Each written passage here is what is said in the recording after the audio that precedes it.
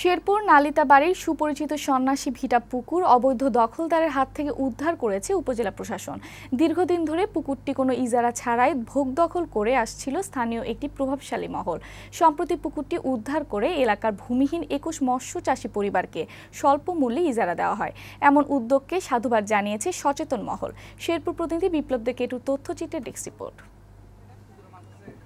শেরপুরের নালিতাবাড়ি উপজেলার বাগবের ইউনিয়নের সন্ন্যাসী ভিটা এলাকায় দুই একর বিয়াল্লিশ শতাংশ জমি নিয়ে অবস্থান সন্ন্যাসী ভিটা পুকুরের। দুই হাজার এক সাল থেকে দুই হাজার আঠারো সাল পর্যন্ত দীর্ঘ সতেরো বছর ধরে এই পুকুরটি ভোগ দখল করে আসছিলেন উপজেলা আওয়ামী লীগের সাধারণ সম্পাদক ফজলুল হক। এর মধ্যে তিনবার খাস আদায়, একবার ইজারা দেওয়া হলেও কয়েক দফায় মোট দশ বছর ইজারা ছাড়াই অবৈধভাবে পুকুরটি দখল করে রাখার অভিযোগ রয়েছে তার বিরুদ্ধে।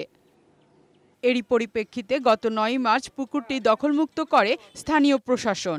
দশ বছর কাল ধরে অবৈধ দখলকারদের দখলে ছিল যেটা আমরা সংবাদের দখলদারের সংবাদ পেয়ে আমরা ইউনো মহোদয়কে নিয়ে ওখানে অভিযান চালিয়ে পুকুরটি উদ্ধার করি।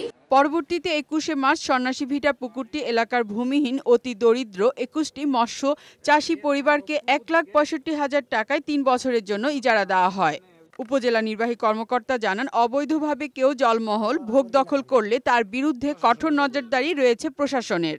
এখন থেকে নালিতাবাড়িতে কেউ অবৈধভাবে কোনো জলমহাল ভোগ দখল করতে পারবে না। এদিকে সন্ন্যাসী ভিটা পুকুরটি অবৈধ দখলমুক্ত করে অতি দরিদ্র মৎস্য চাষীদের ইজারা দেয় সন্তোষ জানিয়েছেন স্থানীয়রা। ডেস্ক রিপোর্ট বৈশাখী সংবাদ।